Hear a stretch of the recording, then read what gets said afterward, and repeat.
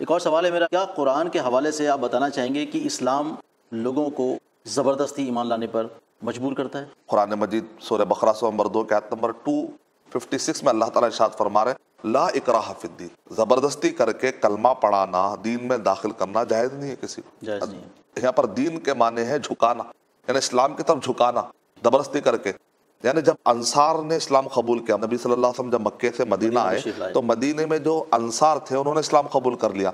लेकिन जो बच्चे थे अभी उनको इस्लाम समझ में नहीं आ रहा था छोटे जो बच्चे थे। तो अंसार क्या कर रहे थे? गुस्से में आकर अपने बच्चों को ज़बरदस्ती करके कलमा पढ़ाने की कोशिश कर रहे थे। तो ये आयत नादिल हुई कि ये बच्चे जो अब जवानी की तरफ़ आ रहे हैं इनको तुम ज़बरदस्ती इस्लाम का ज़बरदस्ती के इस्लाम की तरफ़ मत लाओ।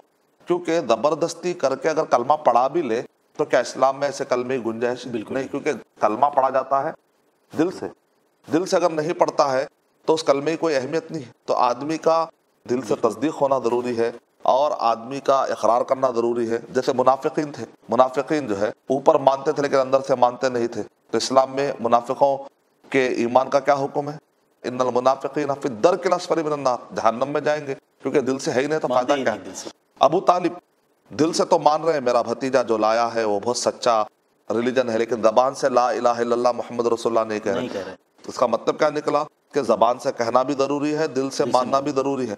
अगर ज़बरदस्ती करके कलमा पढ़ा भी ले दिल से ना माने तो फ़ायदा क्या है? नबी सल्लल्लाहु अलैहि वसल्लम क्या आप ज़बरदस्ती करके किसी को कलमा पढ़ा सकते हैं? नहीं। अबू तालिब को नबी सल्लल्लाहु अलैहि वसल्लम कलमा नहीं पढ़ा सके।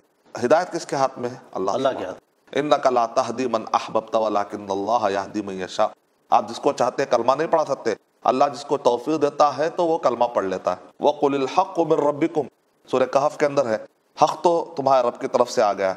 फमन शाह फल यूमिन व मन शाह फल यकफुर अल्लाह ताला करे जो चाहे ईमान लाए जो चाहे कुफर करे अल्लाह ने उसको आज़ादी दे दी है। अल्लाह ताला किसी पर ज़बरदस्ती नहीं। नहीं करते। अल्लाह ने बहुत आज़ादी दे दी है कि आदमी इसीलिए कहा लकुम दिन हुकुम वली दीन यानी कि तुम जो दिन फॉलो करना है फॉलो करो। लेकिन क़यामत में अल्लाह ताला फैसला करेंगे। करने वाला है। तो अल्लाह ताला सूरे दहर नंबर 76 के आयत नंबर एक, दो, तीन पढ़ी, उसमें नब तली ही फजालना हो समियाम बसीरा।